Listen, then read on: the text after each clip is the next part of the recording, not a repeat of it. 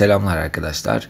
Mutlaka bilmeniz gerekenler serisinde 5. modül yani eğitimde kapsayıcılığı incelemeye başlıyoruz. Öncelikle kapsayıcı eğitim her bir öğrencinin kendi öğrenme ve gelişim özellikleri, ilgi ve gereksinimleri doğrultusunda eğitime erişimine, eğitim ortamlarına katılımına ve bu doğrultuda onlarla ilgili profesyonellerin desteklenmesine yönelik süreçleri gerektiren bir anlayıştır. Kapsayıcı eğitim ile kaynaştırma bütünleştirme eğitiminin farklılıkları bulunmaktadır. Şimdi bu ikisini inceleyelim. Kaynaştırma bütünleştirme eğitimi özel gereksinimli çocuklara odaklıdır. Çocukların eğitim ortamına hazır olmasını gerektirir. Genel eğitim ortamlarında çocukların yarı zamanlı ya da tam zamanlı şekilde bulunmasını içerir. Çocukların bireysel farklılıkları ön plandadır ve çoğu zaman bu durum sorun ya da ayırıcı özellik olarak görülür. Ayrıştırılan çocukların bütünleştirilmesine yönelik destek sunulur. Kapsayıcı eğitim ise tüm çocukların özelliklerini dikkate alarak eğitimde eşit erişime yöneliktir. Eğitim ortamlarının çocuklarının özelliklerine göre yapısal ve işlevsel olarak düzenlenmesi söz konusudur. Tüm çocukların gelişimsel özellikleri ve gereksinimlerine yönelik öğretimsel uyarlamalar yapılarak eğitim ortamlarına erişim ve katılımını içerir. Çeşitlilik esastır ve bireysel farklılıklar olağan karşılanarak ayırıcı özellik şeklinde vurgulanmaz. Tüm çocukların okula aidiyeti katılımı için gerekli tedbirler alınır. Kapsayıcı eğitimin temel kavramları çeşitlilik, katılım, aidiyet, adalet ve hak temelli yaklaşım üzerine şekillenen bir anlayıştır. Kapsayıcı eğitim anlayışı sınıftaki tüm öğrencilerin öğretmeni olmak ile ilgilidir. Kapsayıcı eğitime yönelik uluslararası düzenlemeler insan hakları temelli süreç 1948 ve sonrası, özel gereksinimli çocuklara yönelik süreç 1990 ve sonrası, dezavantajlı gruplara yönelik süreç 2000 ve sonrası ve eğitim sistemlerinin dönüşümü 2005 ve sonrası olarak ele alınabilir. Birleşmiş Milletler İnsan Hakları Evrensel Bildirgesi yani 1948'de kendisinden sonra gelen pek çok düzenlemeye temel oluşturarak gerek eğitim gerekse diğer hizmetlerde temel haklara ve özgürlüklere yönelik bakış açısı sağlamıştır. Herkes için Eğitim Dünya Konferansı, özel gereksinimli çocukların kapsayıcı eğitimine yönelik çok önemli gelişmeleri de beraberinde getirmiştir. Salamanka Bildirgesi 1994 ve eylem çerçevesi ile kapsayıcı eğitim ilk kez gündeme gelmiştir. Ayrıca Avrupa Birliği'nin, UNICEF'in ve UNESCO'nun çeşitli çalışmaları bulunmakta. Kapsayıcı eğitime yönelik ulusal düzenlemeler ise İlk Öğretim ve Eğitim Kanunu, Milli Eğitim Temel Kanunu, Engelliler Hakkında Kanun, Yabancılar ve Uluslararası Koruma Kanunu, geçici koruma yönetmeliği olarak sıralanabilir. Kapsayıcı eğitimde bir takım hususlara dikkat edilmesi gerekiyor. Çok sektörlü bir yaklaşımın kullanılması, toplumun sürece dahil edilmesi gibi. Öğrenme için evrensel tasarım ilkelerine göre düzenlenen bir öğrenme ortamında öğretmen çoklu sunum yolları sağlayarak, çoklu meşgul olma yolları sağlayarak ve çoklu ifade yöntemleri kullanarak tüm öğrencilerin erişimini arttırabilir. Çoklu sunum yolları sağlamak, öğretim sürecinde videolar, sunumlar, kitaplar, görseller gibi yazılı ve görsel birbirinden çeşitli yollar kullanmayı ifade etmektedir. Çoklu ifade etme yolları sağlamak, öğrencilere sözlü, yazılı, resmederek, çizim yaparak, bilgisayar ya da dijital araçları kullanarak kendilerini ifade etmelerine olanak sağlamaktır. Çoklu meşgul olma yolları sağlamak ise öğrencilerin öğrenme sürecine katılımlarını da teşvik etmeye yönelik olarak grup çalışmaları, oyunlaştırmalar, etkileşimli süreçlerin işler hale getirilmesi olarak ifade edilebilir. Öğrenme içeriğinin farklılaştırılması katılımı sağlamaya destek olabilir. Bu amaçla çocukların tercihleri dikkate alınabilir, etkinlikler basitleştirilebilir ya da çeşitlendirilebilir. Öğrencilerin ihtiyaçlarına göre zorluk seviyesini çeşitlendirmeye yönelik olarak kısmen tamamlanmış ders notları verilebilir. Akranlarından görece hızlı öğrenen ve sınıf seviyesinin üstünde yer alan öğrenciler için aynı içerikleri daha karmaşık hale getirebiliriz. Destekleme stratejisinde öğrencinin performansına göre sistematik olarak sunulan destek, öğrenci bağımsızlaştıkça kaldırılarak aşamalı bir sistem izlenebilir. Öğrenme sözleşmelerinde öğrencilerin belirli bir süre içinde tamamlayacağı işi yazılı olarak belirleyen öğretmen ve öğrenci arasında yapılan bir sözleşme, bir anlaşma yer alır.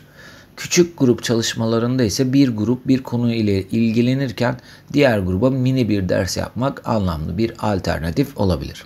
Örneğin matematik dersinde gerekiyorsa hesap makinesi kullanımına izin verilebilir seslendirilmiş metinler kullanılması ve iPad'lerin sürece entegre edilmesi rahatlık sağlayabilir. Kapsayıcı değerlendirmede öğretmen, ölçme ve değerlendirme yöntem ve araçlarıyla öğrencinin programlarda amaçlanan bilgi ve becerileri kazanıp kazanmadığını sürekli izler ve değerlendirir. Kaynaştırma yoluyla eğitim ve öğretimlerine devam eden öğrencilere yönelik ölçme değerlendirmede bireyselleştirilmiş eğitim programı esas alınır.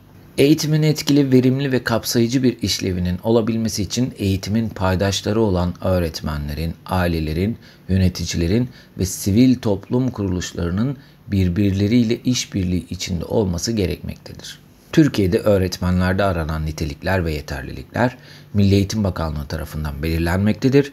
Bakanlıkça kurulan komisyon yönetiminde öğretmenlik mesleği genel yeterlilikleri belirlenmektedir.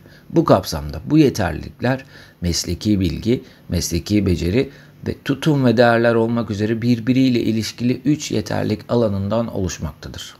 Çocuklarının eğitimine katılan, örneğin onlarla okumalar yapan, ödevlerine yardım eden ve okulla ilgili genel tartışmalara katılan ebeveynlerin istikrarlı akademik performansı olan ve daha az davranış problemi gösteren çocukları vardır.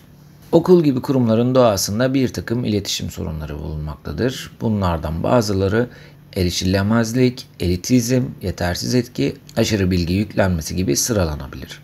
Kapsayıcı okullarda bazı karşılama ritüelleri var. Mesela sabah anonsları, müfredat gecesi gibi kapanış ve sonlandırma ritüellerine de bayrak törenleri, devir teslim töreni örneği verilebilir.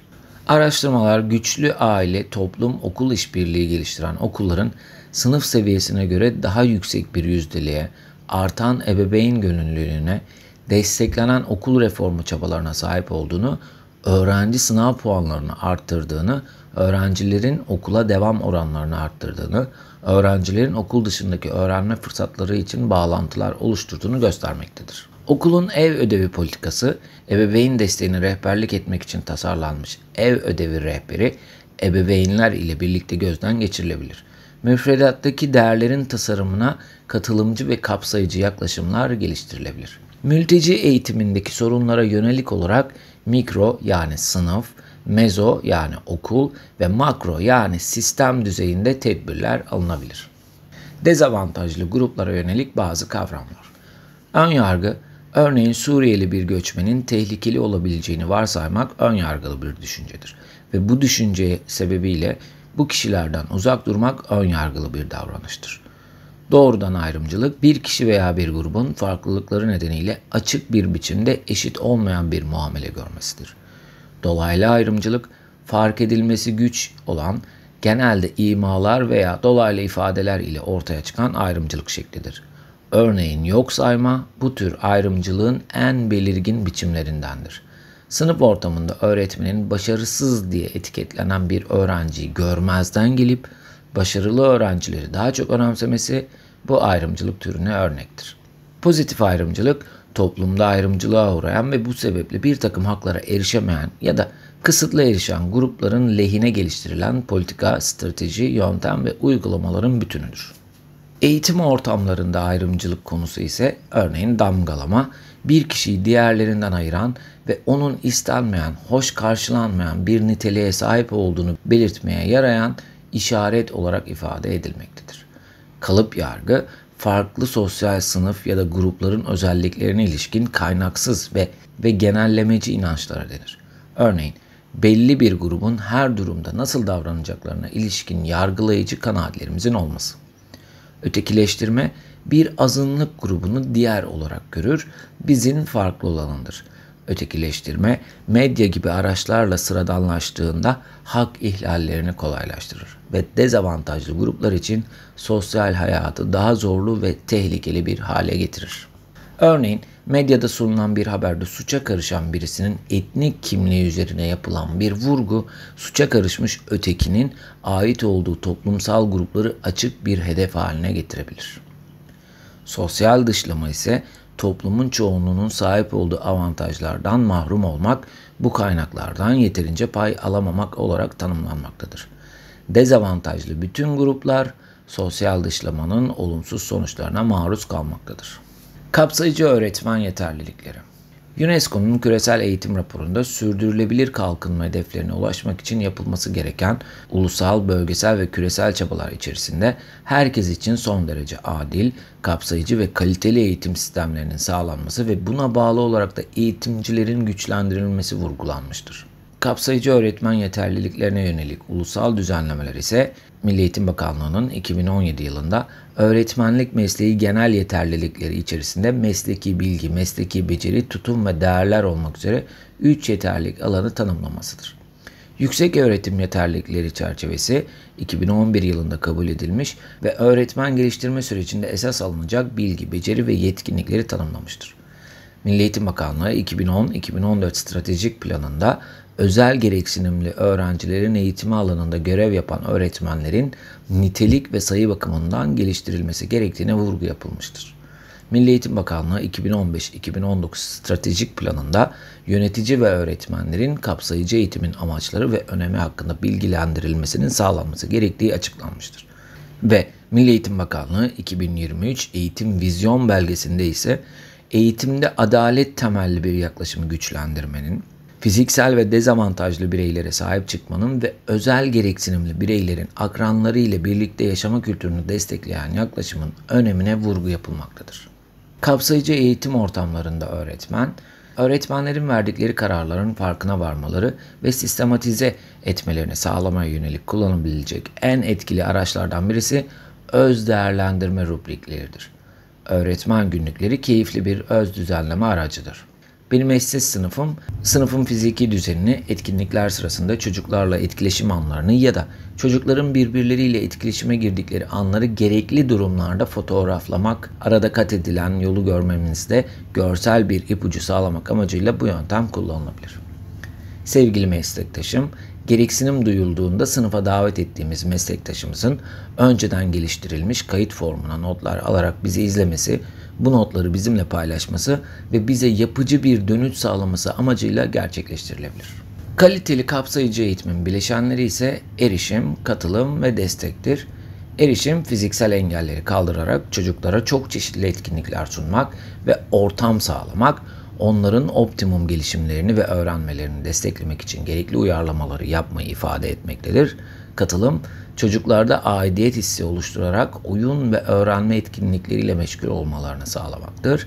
Destek ise yüksek kaliteli kapsayıcı eğitim uygulamaları için sistemlerin altyapısını oluşturmaya yöneliktir. Ve son olarak kalitenin gelişmesinde en kritik faktör öğretmenlerdir. Evet arkadaşlar, mutlaka bilinmesi gereken konular 5. modül çalışmamız da burada bitti. Bir sonraki dersimizde görüşmek üzere. Kendinize iyi bakın. Hoşçakalın. Thank